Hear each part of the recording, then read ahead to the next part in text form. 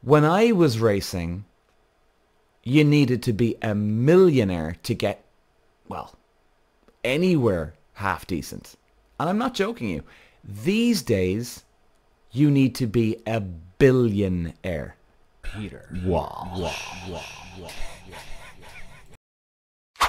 Oh man, we're having some great weather here in Cork the last few days in Ireland. We're nearly at the end of August. Can you believe it's nearly over the summer? Good lord. Anyway guys, we're getting getting straight into it with the uh we're talking about racing today now. It's a great weekend coming up. Check out my episode from yesterday guys, the Dutch Grand Prix preview. I'm doing an onboard lap and we're going to show you the, the special areas of where the drivers should be improving on their lap times. Now, I will say to you as well, we're going to talk about uh, some racing today and how people start in, in racing, right? Because I know there's a lot of interest about racing and the behind the scenes, and we're going to go through that today. But uh, just one last thing about yesterday's episode. Check it out. We're going on board. Now, I was actually my home track, guys, Zandvoort in Holland. That's where the Dutch Grand Prix is on.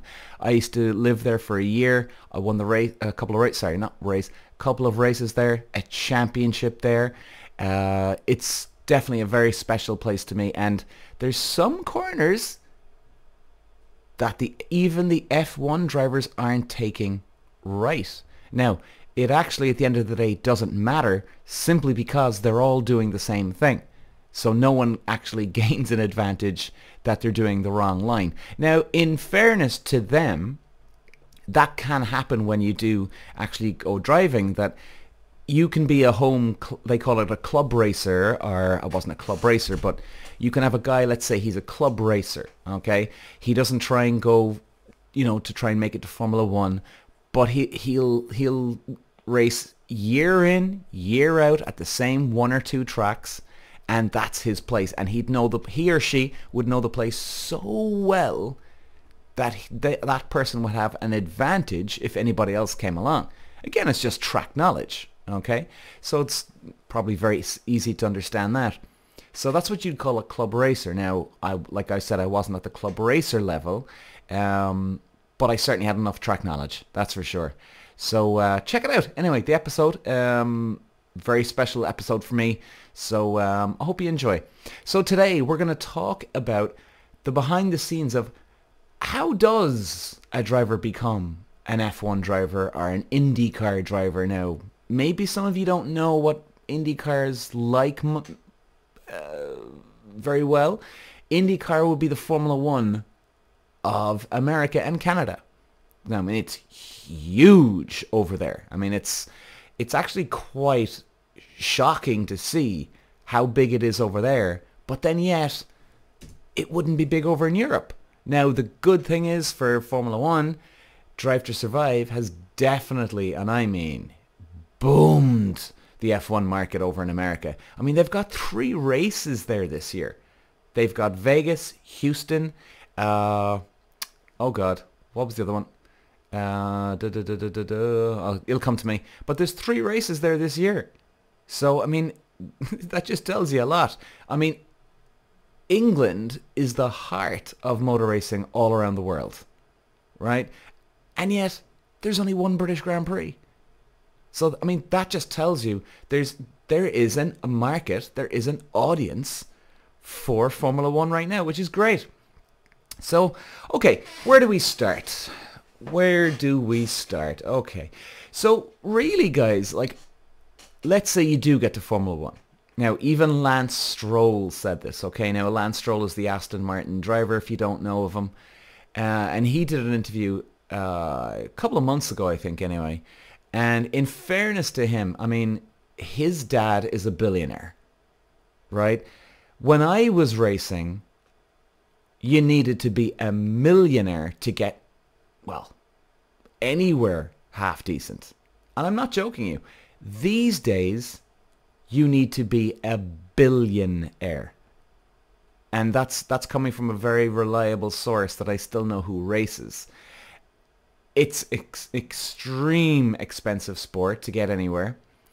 Uh, with um, with Lance Stroll's episode, uh, YouTube. I think it's on YouTube actually. You can check it out. And even Lance Stroll said it is almost impossible to get to Formula One. And we'll get to the reason why in a few minutes. Now, so basically what a driver will normally do is start off in karts. Now, it's not called go-karting, it's karts or karting. Now, the sooner you start, the better because it's like it's like golf or a lot of other sports. Muscle memory is very, very important because for me now, for instance, I started when I was 10. Now, when I was starting, that was actually quite old. I started quite young. Whereas these days, they're starting off at four and five, even younger. Now, uh, with that, I could jump into a kart right now and do a bloody decent job really quick. Okay? And you know what? I'm not trying to boast here. I'm actually literally saying, well, if I couldn't, there'd be something really fucking wrong with me. And I'm being dead, deadly serious here. So I'm actually looking at it the other way. I'm not giving myself a compliment here bragging. I would be hard on myself going, well, hang on a second, buddy. What's wrong with you? Because muscle memory builds up from such a young age. Even if I jumped into a racing car right now, I'd still do a pretty good job. Obviously, I'd be, I, I know, I'd be incredibly rusty because you need to be working out in the gym constantly. But again, it's it, what I'm, my point is muscle memory is a huge thing. And I think it's the same for, for football players, rugby players, golf players. No doubt about it. Definitely golf. I know that for a fact because I play. And it is one of those things that muscle memory really does help. So a lot of the drivers will start off in karting. Probably these days, they're probably starting off at five, maybe, at the, the age of five. Now, maybe they're not going to be racing, but they'll probably start getting some mileage in, practice, right? And they'll go to tracks and practice away. Not be able to race, but they still be able to get out in a kart or they'll do something. They'll go to a car park. They'll get they'll get a local kart somewhere from someone and and just have some fun and get used to it. And it's very very important for drivers to do that. I honestly believe that.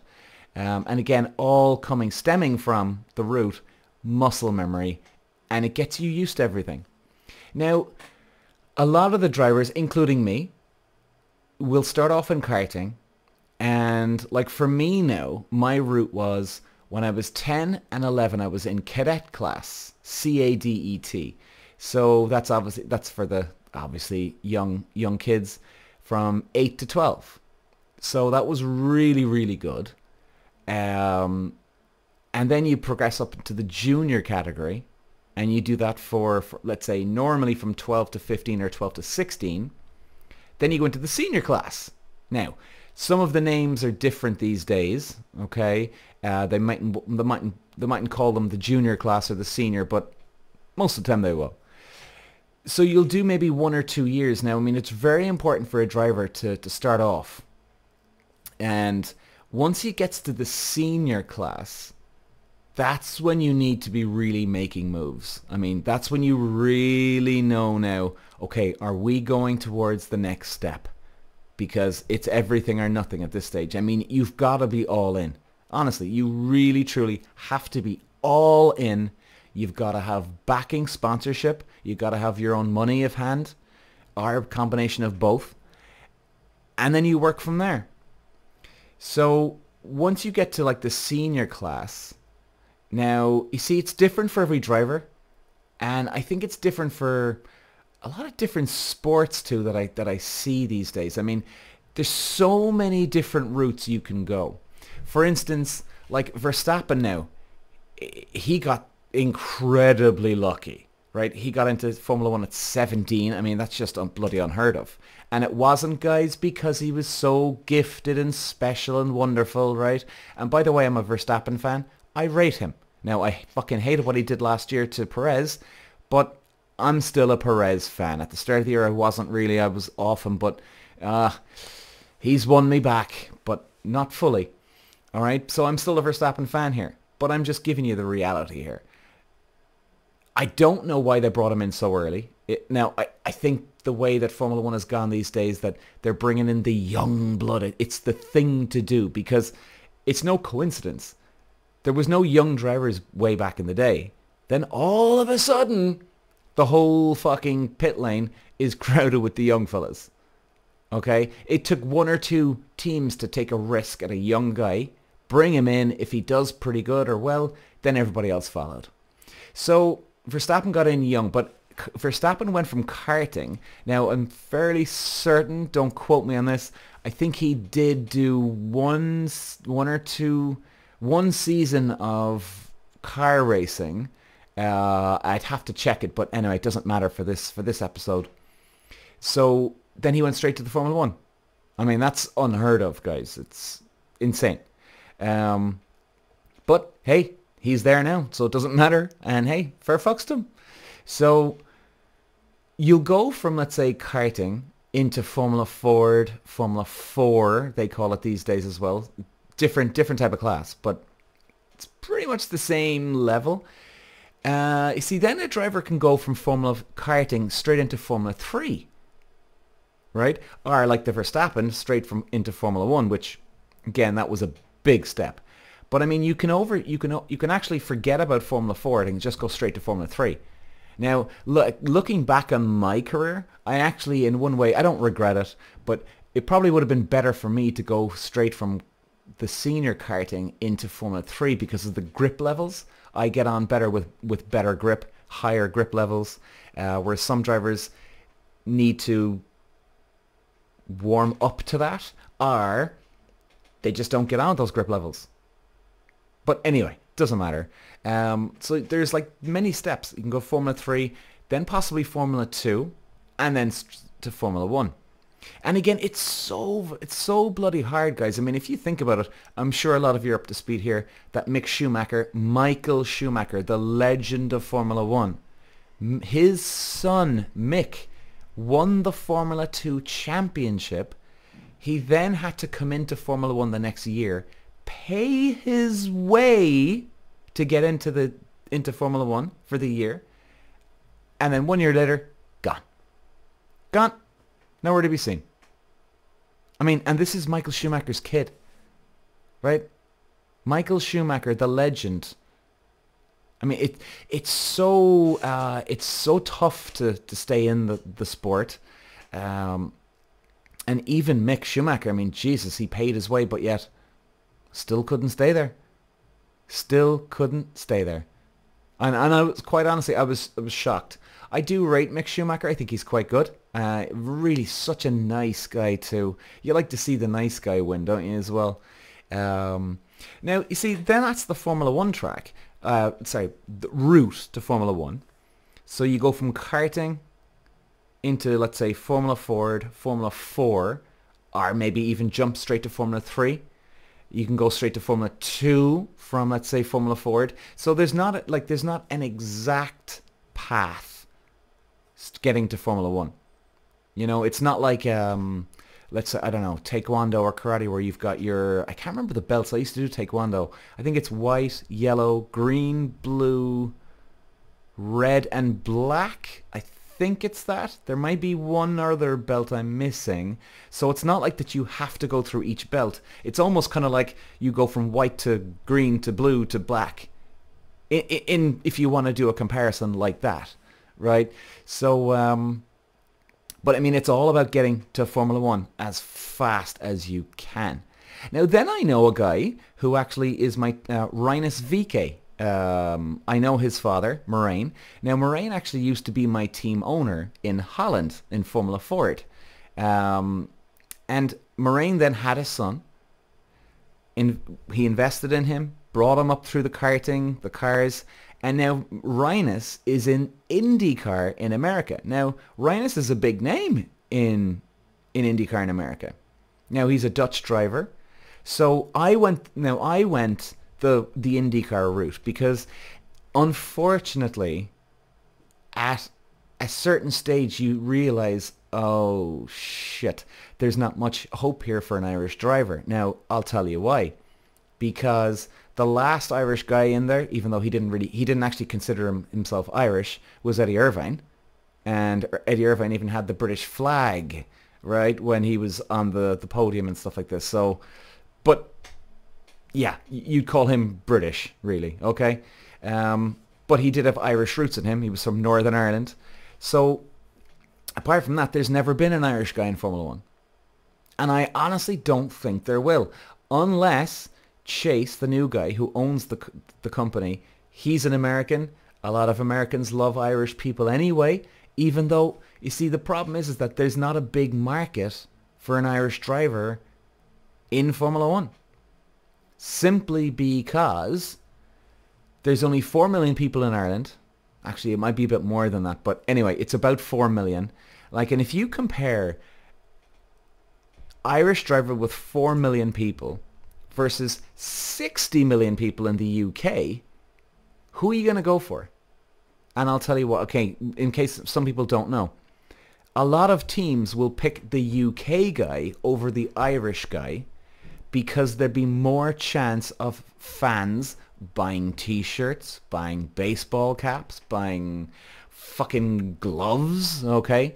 So if I was Peter Walsh from the UK, if I'm in Formula 1 today, now then there's a chance that potentially 60 million people could watch me on TV because they'll watch the British driver. Then take the Peter Walsh, the Irish driver, with 4 million people. Now, then there's only a chance of 4 million people watching me. Now, again, you're obviously not going to have the entire nation watching you, but I'm just saying, right? There's more potential with the bigger numbers in the bigger, bigger countries. And that's the politics of Formula One. And it's very, very hard for Irish drivers now, especially Irish drivers, to even get the sponsorship on, on board. Because in Ireland, a lot of our uh, not issues, I suppose. Well, maybe an issue. A lot of our issues trying to get anywhere in Formula One or motor racing is motor racing isn't a big sport here yet. Now, with Netflix coming on board, it's getting a lot fucking bigger. And it that could easily change in well, I would say minimum three years. I mean, that's being, I think that's being very generous to say that. And then people would actually look at us. But again, you're looking at the sizes of countries. Now you got America, 300 million people, and then you've got Logan Sargeant, who's in Formula One. And I can tell you this, guys. Logan Sargeant is there because he's American and American people are watching. All right? It's it's the politics, it's the nature of the fucking beast. It is the politics behind the whole thing. Don't get me wrong. I love watching Formula One these days. Absolutely love it. It brings me right back to my childhood, to my great days of racing. And even Zandvoort this weekend at Dutch Grand Prix is going to be special to watch. I'll, I'll probably even have fucking tears in my eyes because all the memories will come flooding back. Um, but it is a very, very hard sport to crack. It, it really, truly is. And if you don't believe me, what, try and find that Lance Stroll on YouTube. Um, in fact, I'd say if you even type in Lance Stroll, almost impossible to get to Formula One, or talks about how hard it is to get to Formula One, check it out. And, you know, I have to say, fair fucks, well done to Lance Stroll for saying that. Because a lot of drivers would say, oh, it's a, I'm here because I'm the best. You know, and I actually genuinely think Lance Stroll is quite humble because, well, first of all, he can't afford to be going around saying he's the best, right? So maybe that's why he actually admitted the truth because, well, his dad has bought part of the team and, well, dad's his, his dad is one of the bosses. So he can't hide behind it, really. So I don't know the reason, but you know what? Still, hats off to him for admitting it, you know. Um, and it's the truth. It's the truth. So that would be the progression. So like you can go the karting route here in Europe, go to Formula Ford, Formula 3, Formula 2, then again if everything goes right for you, Formula 1, boom. Excuse me. Or you can go the other route, which I went. I went uh, I went karting in Europe, Formula Ford in Belgium, Luxembourg and Holland. Then got a opportunity in America and Canada. Went there, and, like I, even I was offered the top seat in the top team in Formula Atlantic, which was which would be the equivalent of Formula Two in which the one you see the support race of Formula One. I got offered that, uh, but I couldn't get the sponsorship. So unfortunately, it had to uh, had to pretty much call it a day at that stage, you know. And but I'm not the only driver out there that happens. So there's definitely two routes you can go. Um, now, I was offered a Le Mans seat, if anybody knows what Le Mans is. Uh, not my cup of tea. Certainly don't regret it. There's been once or time, times, t- once, once or twice where I went, oh man, I should have gone there. And then about five minutes later, I'm like, no, forget it. Forget it. Uh, Le Mans would be a dead end. Now, Schumacher came from there, but Schumacher came with money. You see. So he still had, he had an awesome manager back in the day, Willy Weber. In fact, I'm actually wondering, is Willy Weber, where is that guy gone? Because I think if you had Willy Weber managing Mick Schumacher properly, now I must actually even check that, because if he was doing it properly, Mick Schumacher be in fucking Formula One right now because Willy Weber was just brilliant for, with Schumacher. Uh, Jenson Button had a brilliant uh, agent too. Button came from karting, Formula Ford, Formula 3 to Formula 1. So he, he skipped over uh, a year as well. So again, there's so many routes um, that people go, you know. You just got to find your way really now. You can make the best plan in the world, but things can still change things can still change. So, guys, I think we'll leave it right there now. Uh, short and sweet today. Short and sweet. Excuse me, guys. Sorry. So check out the, uh, if you want to check out my preview of the Dutch Grand Prix, that is up now. Uh, posted it yesterday. So it'll definitely be going through the most important corners on the track. Who is favourite? Uh, who could make a surprise? Uh, and I think it could be an interesting race simply because it is a slow, tight track for Formula 1. Now for me in my Formula 4 days, it actually wasn't because the cars weren't obviously big, uh, as big as the Formula 1 cars. So I think there could be a couple of surprises here. Uh, and I wouldn't rule out Mercedes either. Anyway guys, hope you enjoy it. Thanks for watching, or thanks for listening and watching. Bye bye. Peter. Wow. Wow. Wow. wow.